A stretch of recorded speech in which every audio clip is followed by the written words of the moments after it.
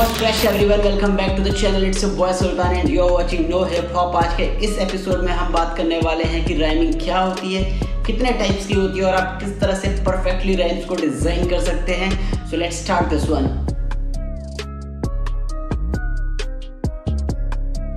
so guys rhyming words कौन से words होते हैं?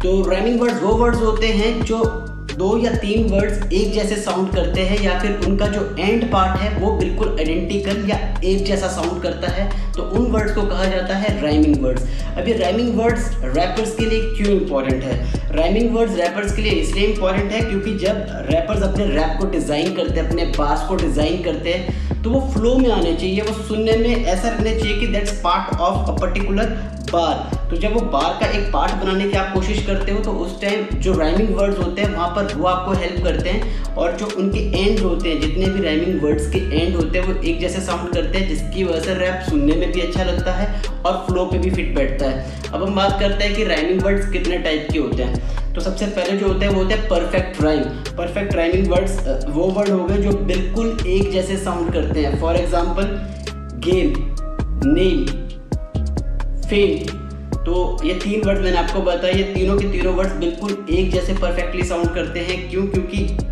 इनका स्टार्ट और इनका एंड अगर आप इनको दो दो पार्ट्स में भी डिवाइड करते हैं गेम गे म नेम ने म तो ये सारे बिल्कुल एक जैसे साउंड करते हैं परफेक्टली आइडेंटिकल साउंड करते हैं। तो इन्हें कहा जाता है परफेक्ट राइमिंग वर्ड्स तो गाइस इसके अलावा होते हैं स्लैंट राइमिंग वर्ड्स अब स्लैंट राइमिंग वर्ड्स कौन से वर्ड्स होते हैं? फॉर uh, एग्जांपल जैसे हमने बोला परफेक्ट वर्ड्स थे name game fame slant rhyming word हो गया आपके स्टैंड क्लेम ड्रेन ये वो वर्ड्स हैं जो पहले वाले सेट के वर्ड्स की तरह सुनने में आते हैं बट कहीं ना कहीं उनसे थोड़े से डिफरेंट होते हैं और परफेक्टली राइम नहीं करते हैं। इन्हें कहा जाता है slant rhyming words so guys एक और एग्जांपल से समझने की कोशिश करते हैं परफेक्ट राइमिंग वर्ड्स को और स्लैंट राइमिंग वर्ड्स को।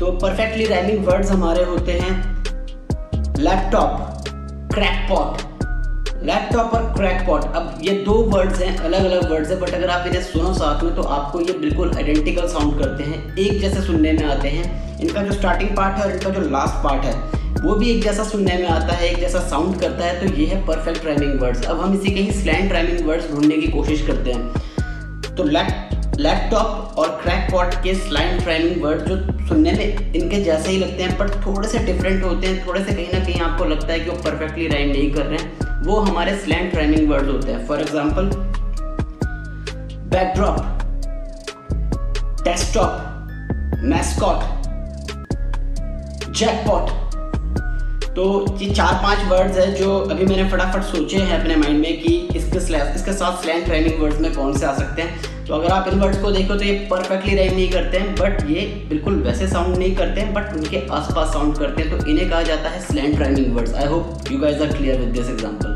so guys हमने बात की परफेक्ट राइमिंग वर्ड्स की, हमने बात की स्लैंड राइमिंग वर्ड्स की तो अब बात करते हैं मल्टी राइमिंग वर्ड्स की। तो जब भी आप बार लिखते हैं तो उसमें फॉर एग्जांपल आपको भी पता है, जब बार लिखते हैं तो बार की दो लाइनें होती है, ऊपर की लाइन और नीचे की लाइन। जो फ़र्स्ट लाइन होती है, उसके जो लास्ट के वर्ड्स हैं, और जो आपकी सेकंड लाइन है, उसके जो लास्ट के वर्ड है, अगर दो या दो से ज़्यादा वर्ड एक जैसे राइम कर रहे हैं, एक जैसे साउंड कर रहे हैं तो उसे कहा जाता है multi rhyming word for example इससे शायद आपको क्लियर हो जाए, मैं आपको एक रैप बार डिज़ाइन करके देता हूँ। आने वाली पीढ़ी, ये तो फ़सल है, कच्ची होगी कामयाब अगर हसल है सच्ची। तो फॉर एग्ज़ाम्पल अगर आप इसमें देखें कि पहली लाइन की तीन वर्ड्स फ़सल है कच्ची और नेक्स्ट लाइन के लास्ट के तीन वर्ड्स हसल है सच्ची।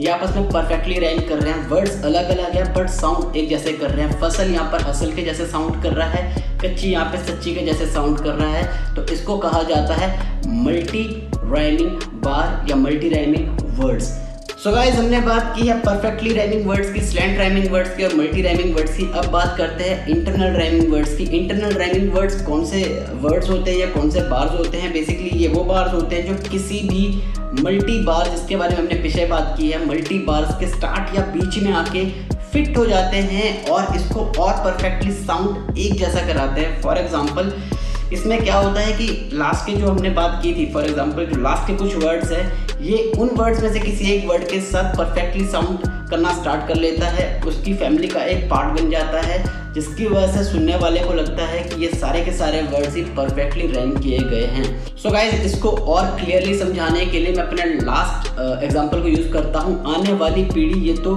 फ़सल है, कच्ची होगी कामयाब, अगर हसल है, सच्ची।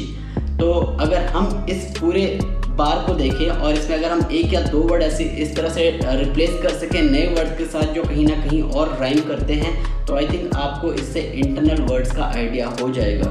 तो आने वाली पीढ़ी, ये तो फ़सल है कच्ची, होगी कामयाब अगर हसल है सच्ची। अगर हम इसमें आने वाली पीढ़ी में से पीढ़ी को हटा के नस्ल डाल देते हैं, क्योंकि पीढ़ी और नस्ल दोनों सिनोनिम हैं। एक ही मतलब होता है दोनों का, दोनों को इजीली आप रिप्लेस कर सकते हो दूसरे से बट अब जब आप इसे राइम में फिट करते हो तो ये परफेक्टली साउंड करती है। फॉर एग्ज़ाम्पल आने वाली नस्ल, ये तो फ़सल है, कच्ची, होगी कामयाब अगर हसल है सच्ची। तो आपने देखा, इसमें हमने नस्ल डालने की वजह से ये हमारी फ़सल के साथ राइम कर रही है ये हमारी हसल के साथ राइम कर रही है। तो जहाँ पर पहले वार एक पूरे बार के अंदर हमारे सिर्फ़ दो वर्ड्स राइम कर रहे थे परफेक्टली अब यहाँ पर तीन वर्ड्स परफेक्टली राइम कर रहे हैं। नस्ल फ़सल और हसल।